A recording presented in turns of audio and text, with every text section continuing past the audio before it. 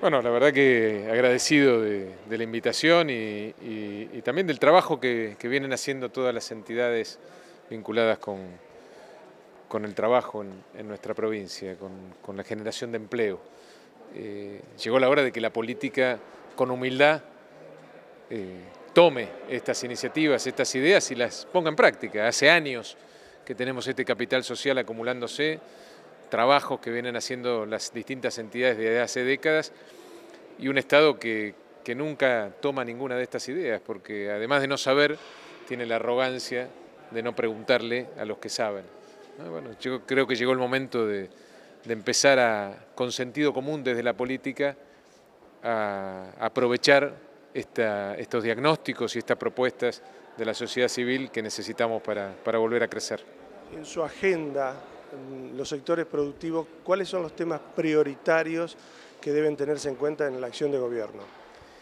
Bueno, primero entender desde el Estado que, la salida, que el desarrollo de nuestra provincia y del país está inexorablemente vinculado con, la generación de trabajo en el sector privado. Si, nosotros no ponemos el foco desde el Estado en generar condiciones para que haya más trabajo, más trabajo entre los emprendedores, los comerciantes, las pymes, los productores agropecuarios e industriales, no tenemos salida, no, no vamos a poder eh, despegar. Eh, y entonces necesitas un Estado que en lugar de tocarte la puerta para, para sacarte más cosas, te toque la puerta para preguntarle precisamente a los que generan empleo y riqueza qué necesitan para crecer, qué necesitan para generar nuevos puestos de trabajo.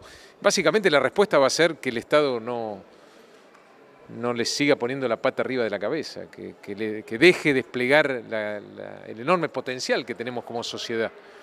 Eh, que nos dé alivio impositivo, sobre todo en Entre Ríos, que somos una de las provincias con mayor carga fiscal del país, que, no tengamos que pagar la luz más cara de la Argentina, que tengamos caminos donde podamos sacar nuestra producción cualquier día, no solamente cuando nos llueve. Hablando de los caminos. Son que tengamos una, una población educada, capacitada para enfrentar los desafíos del trabajo del siglo XXI. Por ahí pasa la solución. Hablando de los caminos, seguramente es un tema que se lo proponen en cada junta de gobierno. ¿Cuál es la idea de cómo mejorar la vialidad provincial y qué, qué rol juegan entidades, comunas en, una mejora en los caminos rurales de Entre Ríos? Bueno, primero hay que hacer, evidentemente, todo al revés de lo que se viene haciendo, porque el, camino que, que, se eligió, por lo menos en estos 20 años, nos lleva a este lugar, ¿no? donde los caminos son intransitables, donde las rutas provinciales están destruidas. Eh, donde ponemos en riesgo nuestras vidas cuando transitamos sobre ellas, sobre todo cuando llueve o, es de noche. Eh, acá hay que poner al Estado en, marcha, ¿no? Hay mucho de desidia también, no solo presupuesto. ¿Cuánto sale marcar una ruta? ¿Cuánto sale tapar esos cráteres que tenemos en, nuestros, en nuestros caminos? Hay mucha desidia por parte del Estado, falta de gestión. Bueno, eso lo tenemos que cambiar. Eh, y respecto a los caminos rurales, tenemos que, evidentemente, ver qué hacen otras provincias donde estos problemas no son tan eh, dramáticos. Y creo que es una combinación de, factores. Primero, vialidad provincial la tenemos que descentralizar, tiene que estar en donde hace falta trabajando. Tenemos que darle trabajo. Tenemos que también tener un vínculo con los intendentes que de hecho asumen esta responsabilidad, pero eso lo tienen que hacer ahora con presupuesto en el caso de que esa sea la mejor eh, solución para determinados lugares de la provincia. Y también explorar la asociatividad entre lo público y lo privado. Los, los, caminos, muchos caminos rurales pueden ser atendidos también por los propios vecinos. ¿Por qué no explorar esa posibilidad que funciona en otros lugares, como en Córdoba, por ejemplo? ¿Cómo ve la política portuaria que ha llevado adelante el gobierno de la provincia y cómo la haría usted? Bueno, como, como, como en general el resto de, los sectores, eh, estamos desaprovechando un enorme potencial. Somos una provincia surcada por ríos que tiene varios puertos y, prácticamente sin actividad portuaria. Eh, no, le ponemos cabeza y, energía a aprovechar este, este potencial.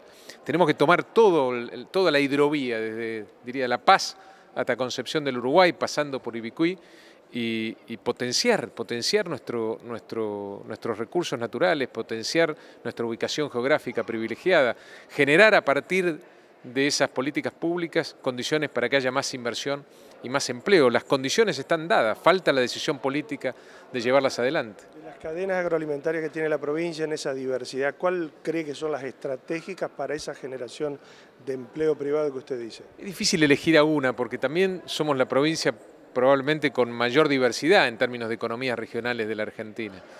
Y somos muy competitivos en, todas, digamos.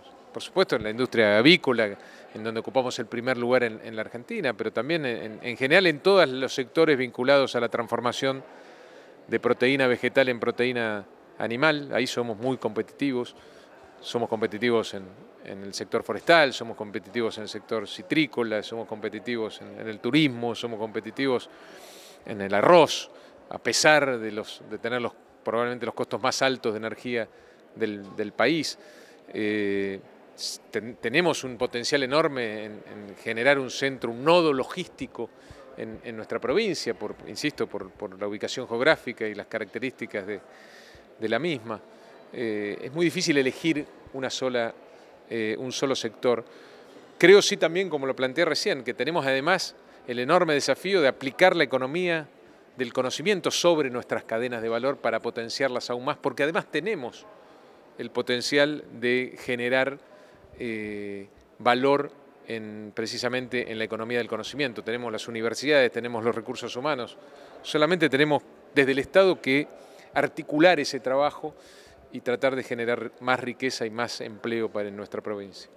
Por último, a los jóvenes y a la sociedad toda, ¿no? aquellos que vayan a sufragar, aquellos jóvenes estudiantes. Bueno, que acá nos estamos jugando el futuro, el futuro de la provincia se juega ahora, eh, y el futuro son los jóvenes, así que deberían ser los más interesados en esto. Yo entiendo y comprendo la bronca que tiene toda la sociedad y sobre todo los jóvenes con la política los jóvenes en Entre Ríos se, sienten totalmente abandonados por la política, sienten que, no tienen un futuro acá. Y por eso emigran, somos una de las provincias que menos ha crecido en términos demográficos en los últimos años. Hay, hay jóvenes entrerrianos con enorme capacidad en otras provincias o en otros lugares del mundo, que van a buscar en otro lado lo que no encuentran acá. Así que yo acepto y comprendo esa bronca y ese desapego con, la política, pero también es cierto que no hay otra herramienta que no sea la política para transformar esta realidad y yo a todos ellos les pido que, que apuesten una vez más, que, hay, que yo siento y muchos entrerrianos sentimos que hay un último vagón del último tren que está pasando, una última oportunidad que hay que tomar y que depende de todos, sobre todo de los jóvenes, que son los que ponen más en juego, ¿no? porque tienen más futuro.